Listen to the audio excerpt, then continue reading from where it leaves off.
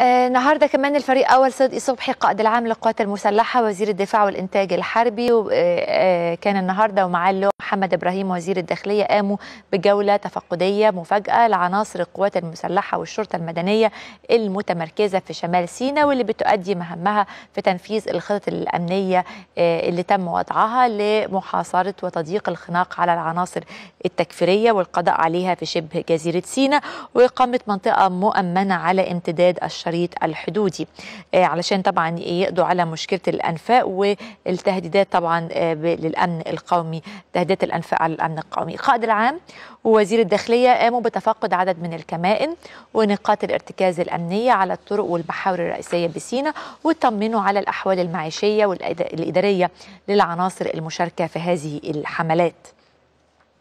برضو